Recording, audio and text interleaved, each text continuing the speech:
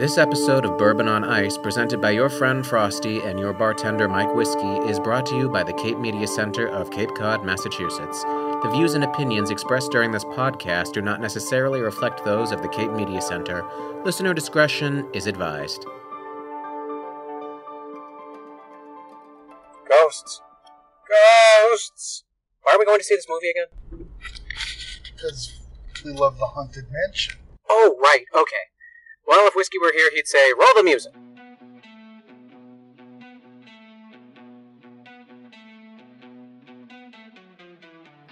Welcome, listeners, to Bourbon on Ice. where we talk about everything nerdy, like gentlemen.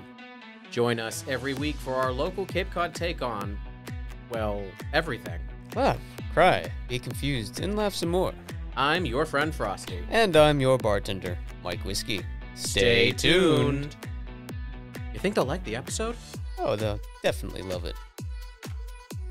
Hello, everyone. I am your friend Frosty. And this is uh, Whiskey's fill in for the day, Kirk. Also known as Circus Kirkus, as we call him behind his back and also in front of it. Just, you know, a lot, really. We are heading to the movies. And what movie are we going to see today, Kirk? Yay! It's the haunted mansion.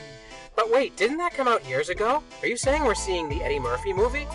That had so much acclaim and was just a regular humdinger, a moment in cinematic history which everyone loves and shall cherish forever? We're not gonna pay to see that. Ooh, ugh. Yeah, okay. I may be bending the truth a little bit, but you people get where I'm going with this. It was not a good movie. Yeah, it was not the best of movies when it came out all those years ago, but uh, many years later, in 2023, we are getting a chance to make the wrongs right. As I said, I'm your friend Frosty, and that's Circus Kirkus, and this is Bourbon on Ice, where we discuss all things nerdy like gentlemen. And today is a bit of a bonus episode. I know that we said we were taking a break for the month of August, and Whiskey and I are. We, you know, had a massive fight, threw things at each other, stormed out, said this partnership is over. I threw myself down on the bed and cried hysterically. Whiskey got on a broomstick and flew off into the clouds. It was very dramatic. I think he was singing the soundtrack to Wicked as he did. Hmm. And look, Frosty has a big lump on his head from when Whiskey threw that book at him. The book was Common Sense. So now no one can say that Frosty doesn't have common sense. Eh, that was terrible. That was bad. Yeah, I'm sorry, but this is not my A-list material. At any rate, It's hard to think when you're on the fly, or in this case, on the drive to the movie theater. we are heading to Mashpee Commons because, well, it's it's a glorious day out here on Cape Cod, and for once, it's not the weather that kind of makes me want to rip my own face off. And actually, it might keep the movie crowd down a little bit because it's not humid and people won't be trying to escape the heat. This is kind of the perfect storm, with it not being a storm. I mean, the tourists are out, but they're not in. And the weather isn't so horrible that we don't want to stay in. Yep, the miniature golf courses are packed today. Although we did stop by uh, the Cape Cod Mall earlier, and that was just a sea of people. I have no idea why. It was. It was packed as well. Very strange. Maybe people doing their back to school shopping on the last day of July. That, that, that, that, don't say that horrible word. I'm a delivery person. I've been enjoying the lack of school buses I have to compete with. Okay, so, uh, back in 20. No, actually, let, let me rephrase that. Back in 2003, the original Haunted Mansion movie came out. It's. Why was he there? I'm, I'm sorry to all Eddie Murphy fans everywhere, but if you could have told me they were making a Haunted Mansion movie, I would not have picked Eddie Murphy to be the leading man. No. The plot wasn't bad. Actually had kind of an interesting plot with good twists. Um, not A lot of references. Yep. Not. I'm kind of looking forward to this new one just to see the upgrades in special effects. Got to be great for this one. I think it's interesting that, like I said, the first movie came out in 2003, and this one came out, in, and this one's coming out in 2023. So they've had 20 years to to go think about what they did wrong and hopefully do it right. And I don't know if the movie's going to be a success or not. I just know that as a massive Haunted Mansion fan, I have to see this, and I think I may be the only person in this car that's a Haunted Mansion fan, right? Right. Yeah, I'd put my bottom dollar on that bet. I should point out that the two of us are wearing Haunted Mansion T-shirts, and I may have stolen um, both Burton and the Hatbox Ghost plushies from your collection so we could bring them to the movie. Yes. Even I didn't go that overboard. I'm sorry, but this had to happen. Hmm. At least you didn't bring my three little hitchhiking ghost plushies that glow in the dark. Oh my gosh, that would have been great. We could we could periodically shine flashlights on them and have them sitting in the dark of the movie theater, oh, scaring Oh, anyone. Actually, those might have been a little bit more appropriate. Oh, why didn't I think of that? I just thought of it as well. I'm also pointing out as we're sitting here that you have a Madame Leota like, bauble hanging from your rearview mirror. yes, I do. I, I think the two of us may have just the right amount of enthusiasm to see this movie. And of course, don't forget the decal on my back window. Yep, that would be the, The Hitchhiking Ghosts. Gus, Ezra, and Phineas. Yep. That, that proves just how much of a uh, Haunted Mansion fan you are if you can not only identify the ghosts as not just, oh, those are from Haunted Mansion, but those are the hitchhiking ghosts, and you can name them. But il- even further, if you can point to each one and name which one is which, which we can do. We will try not to be Haunted Mansion weenies during the movie, though. Oh my gosh! Oh my gosh! They did that thing! That's that! That's from that thing! Oh my gosh! Look at that! No, we won't be saying, "Oh, look, it's little Leota." No, I can just imagine, you know, being picked up and hurled out of this movie theater by very angry people because we won't shut the hell up. no, not gonna happen. Yeah. We're not those people. No. We're also not those people that would go on the ride and recite the whole opening. um, Um, uh, yeah, yeah, yeah, to- totally. Th- those people are like, are the worst. Really, Frosty? yes, Really? yes. Don't tell me you're one of them, I'm one of them. please. Oh, Okay, so I may have taken both Rob and Robert to what is known affectionately as the happiest place on earth, but there's some contention now. And we may have gotten on the Haunted Mansion and I may have recited it word for word, verbatim, why? because I'm one of those people. But what happens if they do it in the movie? You're not going to recite it here. This isn't the Rocky Horror Picture Show. You will never get me to that. Never. Never. Okay, uh, let's take a quick look at this movie. We have not been doing too much, you know, in-depth research. For all we know, this thing could be a, f- a flaming failure. We meant to go on Friday, but, you know, our lives, situations, we both work, stuff. So we avoided it. So now we are seeing it on Sunday for a matinee. All right, so this movie is two hours and two minutes. Uh, it's a family comedy drama with fantasy horror themes and mystery.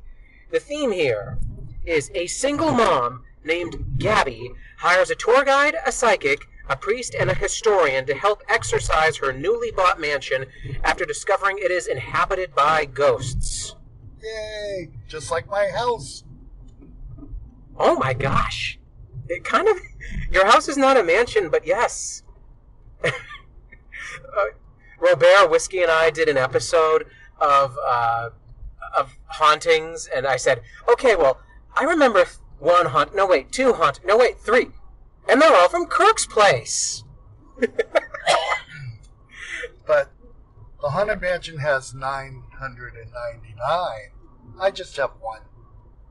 Technically, you may have three. Your, your landlord has referred to them in the plural. Well, she's never seen like the full sized whatever that seems to be in my apartment, but she does have children up in the second floor. Yes, everyone wants ghost children roaming around their house. It's truly magical.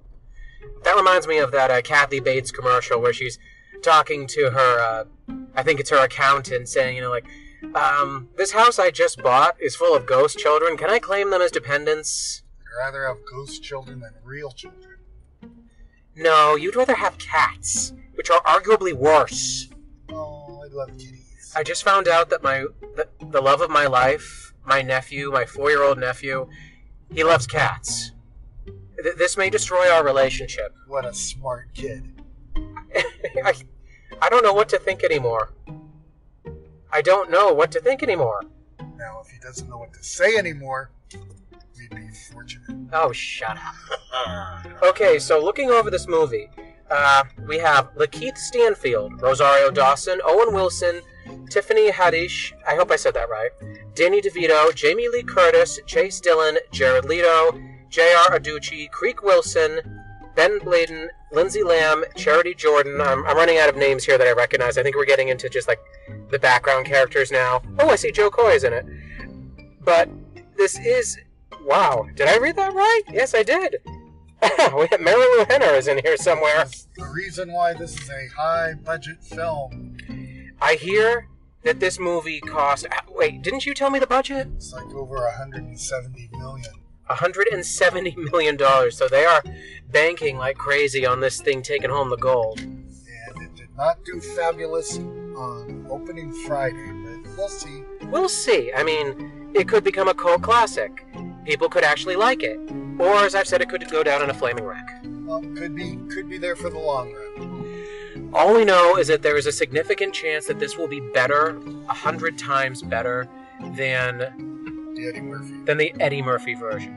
Yes. Uh, from what we've seen from initial trailers, they are including such uh, favorites as the Hatbox Ghost, the I, what would you call that thing? The um, the, the portraits that change, Yeah, the changing portraits. We've seen the, The endless- ballroom. the endless hallway, the organist, the ballroom scene with the party and the dancers. Madame Leota. Madame Leota, of course. I believe there's also Little Leota, which is awesome because we're going to get the hurry back. hurry back. Make sure to bring your death certificate. I know that's meant to be charming and funny, but it kind of screwed with me as a child. I also thought that, you know, you literally couldn't die without one, so I started carrying one. A, a, a literal piece of paper that said death certificate. I put it in my backpack. When it was eventually found by teachers, boy, was that a parent teacher conference to remember. One of many, I'm sure. you know me so well. I do. Okay, um, before we head into this movie, I let's talk really quick. What is it about the haunted mansion that you yourself loves? Uh, well, I experienced it as a child at Disneyland um, when the ride first opened, uh, I believe 1968, uh, in New Orleans Square section of Disneyland, and it did scare me as a young child. But I also was very intrigued by it, and I've always liked the the thought of afterworld or that there are ghosts out there and monsters and aliens and i believe in all that stuff. So the haunted mansion was really um, scary and fun at the same time. And the ride originally um, in california is kind of set up that way that it really is more sinister in the beginning and then becomes more lighthearted and that's from the design aspect i guess two designers worked on the ride and one did the first half, one did the second, and they had different visions for the ride. But it all blended greatly, um, and I've just always loved it. I want to point out that uh, one of the major themes that was in the original walkthrough version of this, we're talking like precursor, and even stuff that was left on the cutting room floor, was there was a heavy nautical theme. There were going to be giant octopuses. There were going to be literal shipwrecks. There was a whole lore they'd come up with about a ship captain. Most of this does not exist, but true dyed in the wool fans of the Haunted Mansion can tell you all about this sort of stuff. And as we live on Cape Cod, we have our our share of shipwrecks, ghosts, uh, pirate crews, and all that stuff that has made its way into our our lore. So it's it's kind of interesting that it changed, but we still feel at home with it despite all that. Well, here being my being a West Coaster, uh, Boo! Boo! being um, raised in California, um, born in Florida, raised in California, moved back to Florida, then up to lovely Cape Cod. Um, my influences are definitely Dis- Disneyland born, but people on the East Coast, um, for natural reasons, are more prone to like Disney World because that's what they grew up with or or travel to because it's the cheaper travel to. And the mansions are really different, yet the same. We're Um, talking different as in the way you enter it, the pre-show, the architecture, the ride itself, even some of the characters. Yeah. Well, with Disneyland, as um, The Frosty original. was, as Fro- as Frosty was alluding to, that it was intended to be a walk-through attraction, and one of the reasons being that the the big building that the that houses the attraction is on the other side. It's not within the footprint of the park, so you had to walk. Uh, once you went through the stretching room, which actually stretched down, Is it actually stretching, or is your imagination? Well, in Disneyland, you go down because you have to walk under the train tracks to get to the ride itself. Whereas in Florida at Disney World, the room itself stretches up and you still remain on the same level. Um, so part of the walkthrough does exist at Disneyland, and you don't find it really at all at Disney World. You go basically right from the stretching room to the queue. Um, so those are some of the differences. I believe it's a longer ride at Disneyland, slightly. Maybe. I think you're right about that. But when they ordered the parts and the everything for Disneyland, they knew Disney World was in the works, so everything was doubled. So they ordered two of everything, constructed two of everything, um, and so the main rides are really all the same. All right, uh, we've got just a few minutes before we got to run in, so let's talk about uh, one more thing. And, well, and this is a question for both of us. What is something that you absolutely love from the ride that you desperately want to see in the movie? For me, I'm just going to say this right now. My one of my favorite parts, the favorite part of the entire ride, is when you first enter it in Disney World. You sit in the uh, you stand in the the greeting room and you see the portrait of Master Gracey age in front of you, withering away until it's nothing but a fleshless skeleton. And for me, as a kid, you know, I I, I didn't know what I was looking at. I thought it was really dying and it was horrifying and it set the theme of the whole thing. That is my favorite, and I will be so disappointed if we don't see the aging portrait somewhere in this movie. Well, so Frosty's favorite's right at the very beginning, and mine is at the very, very end. I was always loved that little Leota at the very end when you're on the um, conveyor belt sort of uh, moving sidewalk. The the ride exit, The the unloading part. Yep. And then again, in California, you're kind of going uphill because it's got to bring you back to ground level. And you see way in the distance the little Leota doing the whole hurry back spiel. Um, that we've been dying to meet you. Um, it's just, it's my favorite part. And I always wondered, how did they do that? How did they make her look so real? Not knowing as a little kid, it's just a projection. but it was a damn good one. Yep.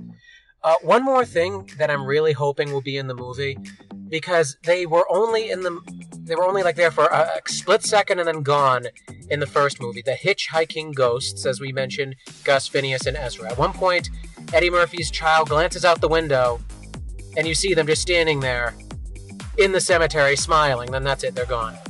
Yeah.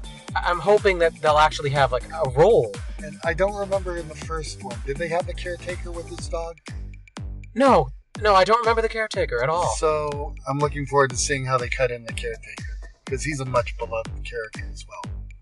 He's the only human character in the whole ride. You're right about that. Poor guy. Yeah. I mean, Poor dog. poor. Oh yeah, I always wanted to reach out and pat the dog, but I you just- know, you're not supposed to reach out of a moving vehicle. I wanted to throw a burger at him. He was skin and bones. Oh. Speaking of skin and bones, we should probably get some popcorn. Yes, we should. We should probably go inside. All right, people, we're heading in. This is gonna be cool. Well, let, let's hope it's gonna be good. Let's hope it's a good review coming out. We'll see you in a few, oh, couple of hours. Bye. The Cape Media Center, located in Dennisport, Cape Cod, Massachusetts, is a non-profit community media center and the public access TV station for the towns of Barnstable, Yarmouth, Dennis, Harwich, and Chatham. Our mission is to build community through media, enhance democratic communication, and facilitate free expression by providing these towns with a state-of-the-art media resource center. Members can become trained in our video and audio equipment and produce their own media content. Membership includes training classes, access to our field equipment, studios and facility, as well as airtime. Podcasters and music producers can share their content on our website. For more information, visit capemedia.org. This episode of Bourbon on Ice is brought to you by Market Street Bookshop in Mashpee Commons, located at 31 Market Street, Mashpee, Massachusetts. Embrace diversity and find support for local authors and artists at the Market Street Bookshop, where your favorite new read is just a browse away. For more information, give them a call at 508 539 6985. And we are back. Oh, yes, we are. Did you miss us, everyone? And did you enjoy the movie? Because I'm assuming that, you know, when we took a break, you took a break, went out, got some tickets, sat down in a movie theater, big bucket of popcorn, maybe, maybe some nachos, uh, movie theater hot dog.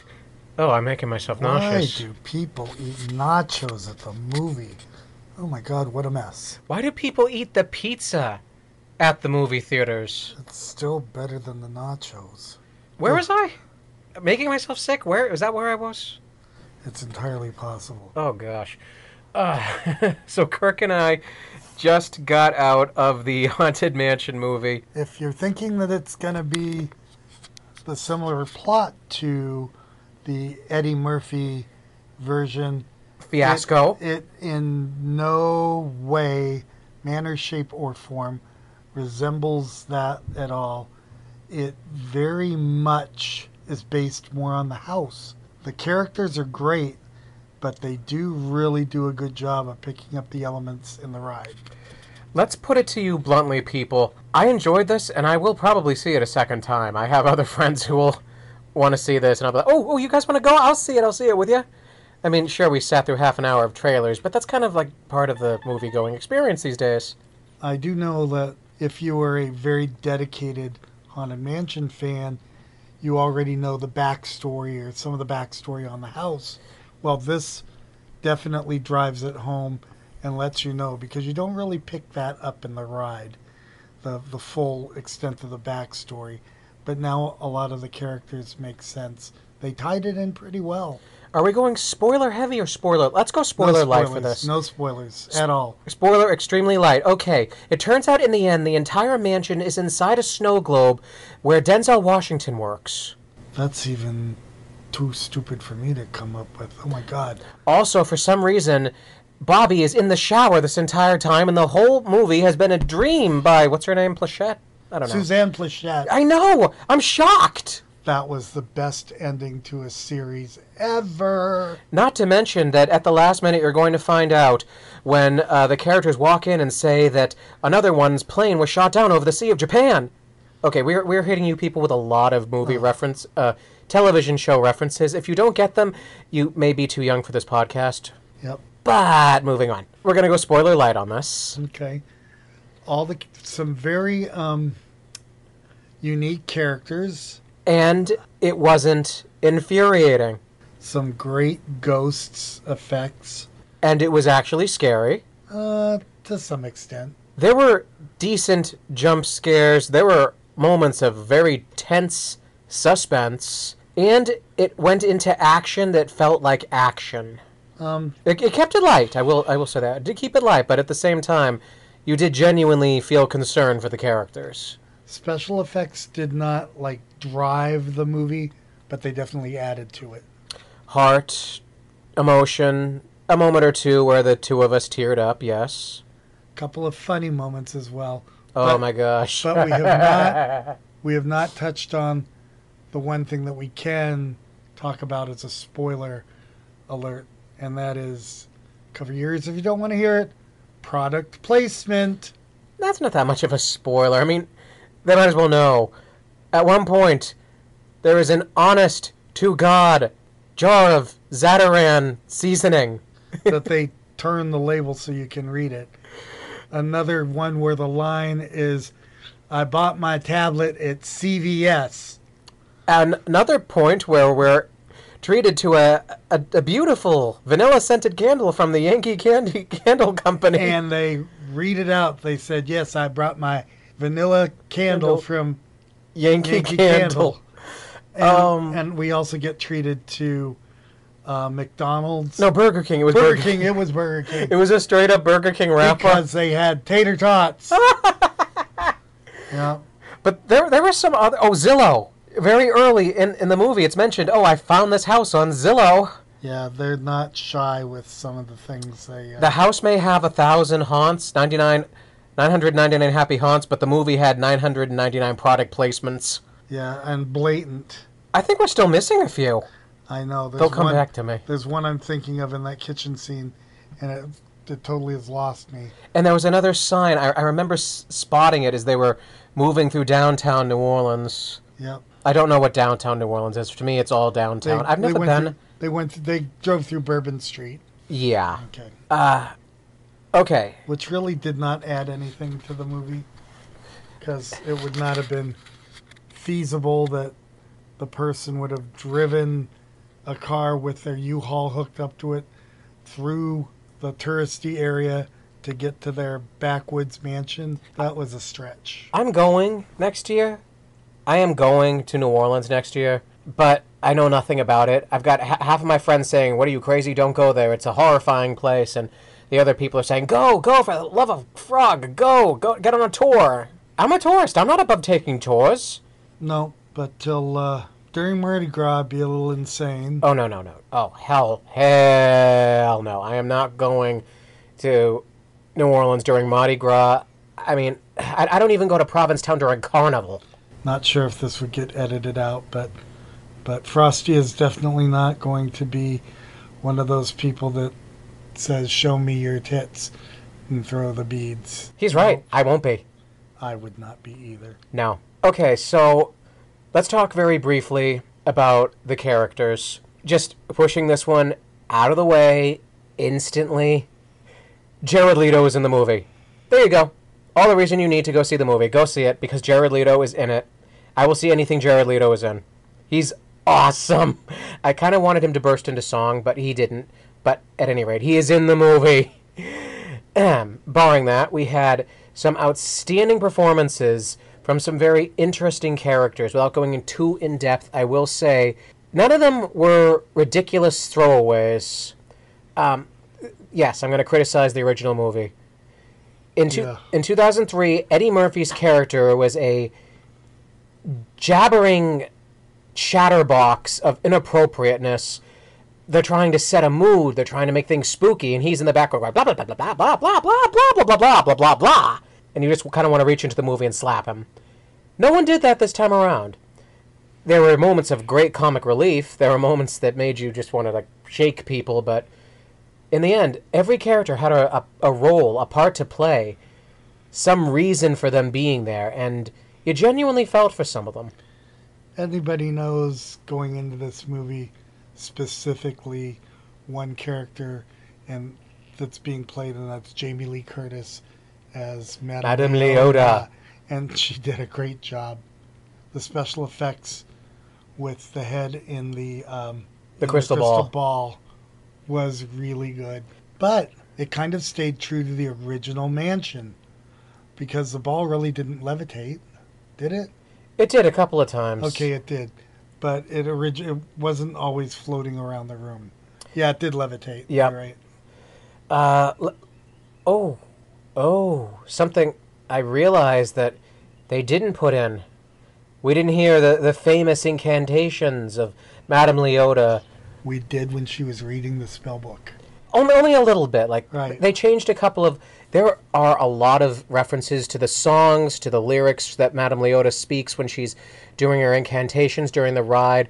A couple of other things, some iconic lines said by characters. Mm-hmm. Hurry back. We did not get the little Leota that I was hoping for. But we did get an interesting Leota. yeah, And and and as I said, you know, we didn't get the um, rap on a table. It's time to respond. Send us a message from regions beyond. No, let there be music from regions beyond. Oh, I'm gonna have to look this up. yep. But we did have the ringing a bell as part of the plot. Um, You, you know, I'm just gonna I'm just gonna say this right now. There were so many references in there, but they were subtle. yeah, it was good. I think this movie was made for the fans of the Haunted Mansion. Absolutely. It's not gonna it's not gonna be a blockbuster success, but I think it might turn into a bit of a cult favorite. Definitely a cult favorite. Yep. So I know I would I definitely when it comes out on a um, DVD I would pick that up. Here's what I'm kind of remembering. The original Haunted Mansion movie, that was made for a family audience. Blunt and simple, they invented so much. They created all of these characters, they dropped them into the mansion, but it was done for the families.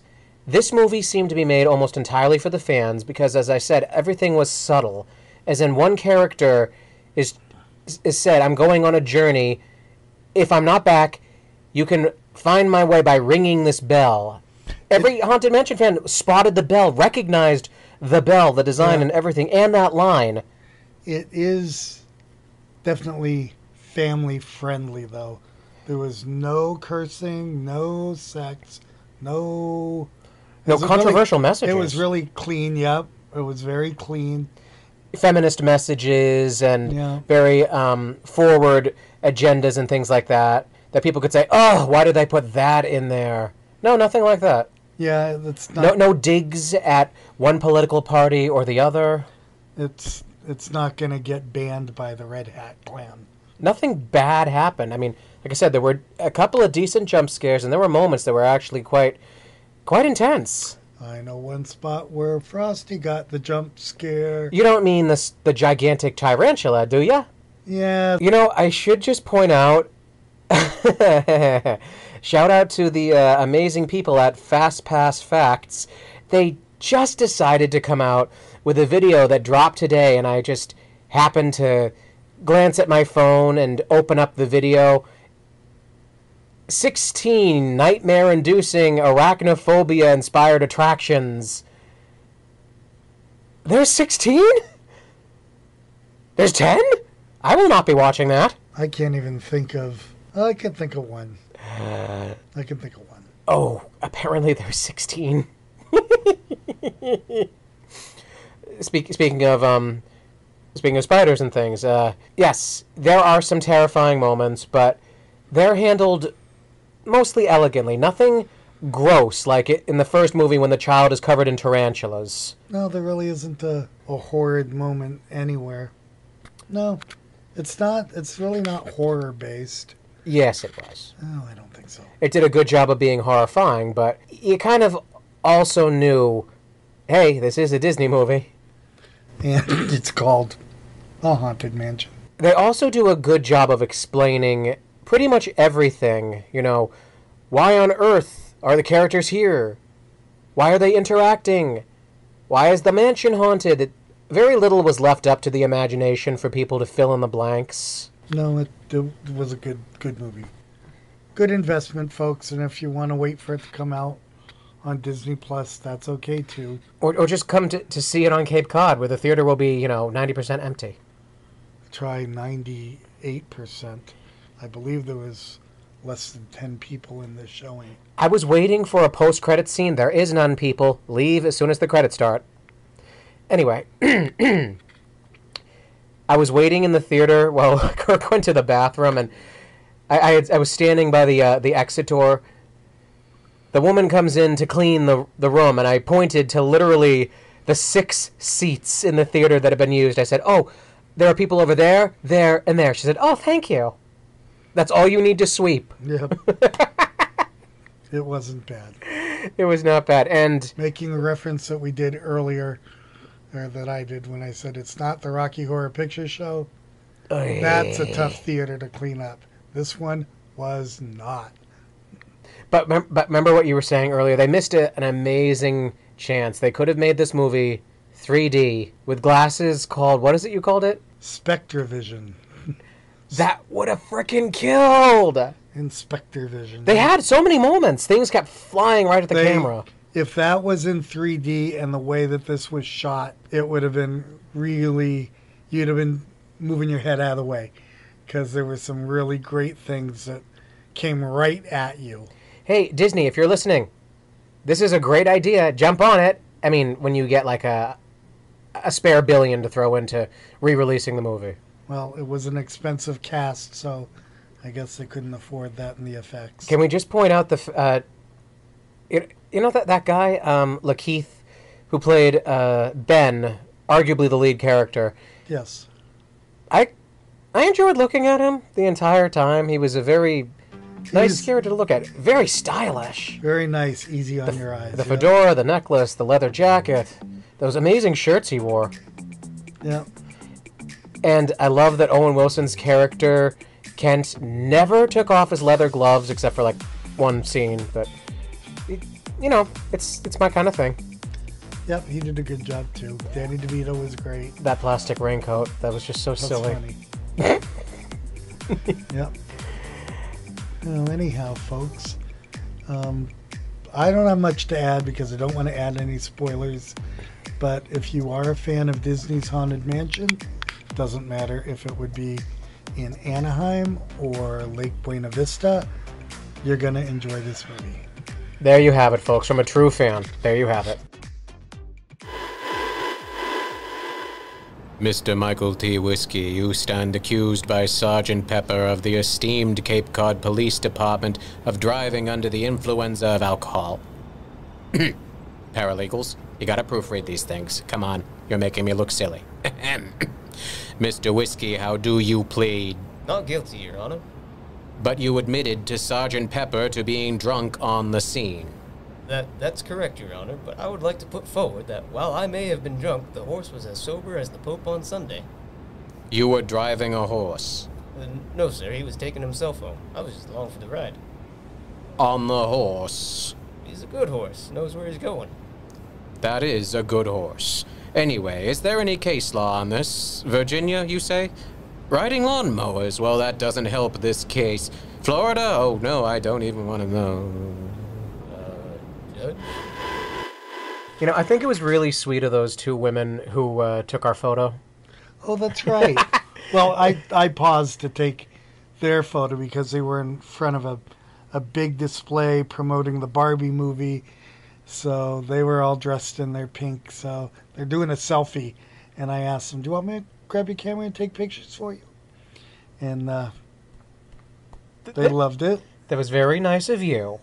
And then And then and then I took advantage of that niceness. and then they took pictures of us in front of the The movie poster. movie poster. Wearing our Haunted Mansion shirts and holding our merchandise. yep. Yep. I, I whipped out. We named um. Okay, Tim. Corey Burton, right? What? Corey Burton was the voice. Corey Ver- Burton was the voice that you hear during the Haunted Mansion ride as the ghost host. And Kirk here just happens to have a plush Haunted Mansion gargoyle, so we named him Burton. Yep, and he, he came in a set of two, um, with the Hatbox Ghost plush.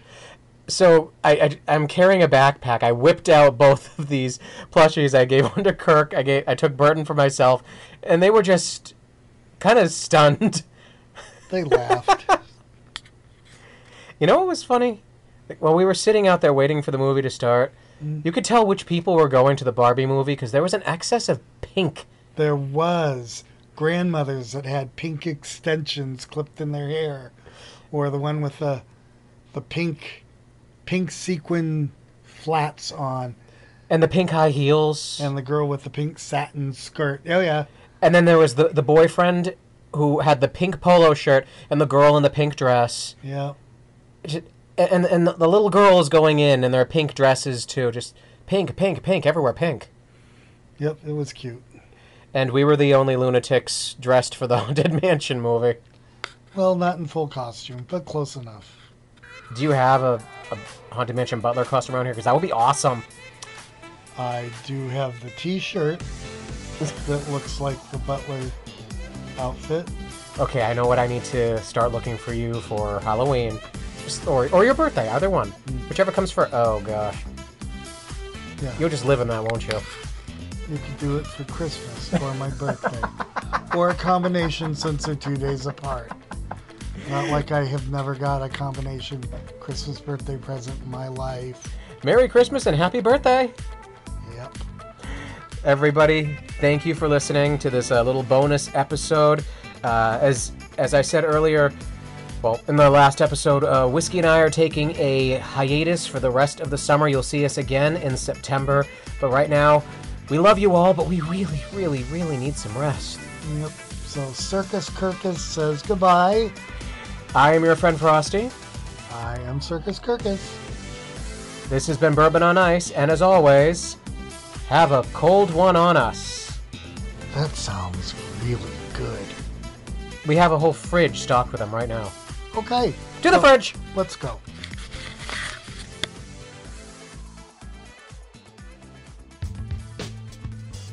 This podcast was recorded at and produced by Cape Media Center on Cape Cod, Massachusetts by podcasting duo Mike Whiskey and your friend Frosty. All music and sound credits go to soundstripe.com. Special thanks to Jamie Horton, Emily Tulloch, Gabrielle Rawson. For more information on Bourbon on Ice, visit our social media page at twitter.com backslash whiskeyfrosty. For more information on Cape Media Center, visit capemedia.org. For more listening options and a variety of podcasting entertainment, visit our hosts at buzzsprout.com and capemediacenter.org.